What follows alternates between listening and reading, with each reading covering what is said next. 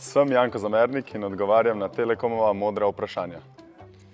Uh, mislim, da tlele ima rok možič kar največ. Jaz bi rekel, da um, kakšne misteri, uganke, kar filmski večer.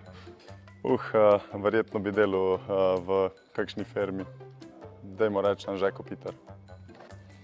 Uh, po moje brez interneta. Shawshank Redemption. Verjetno ženo, telefon, um, pa kaj, da si bi lahko lop, uh, dobrega skuhala.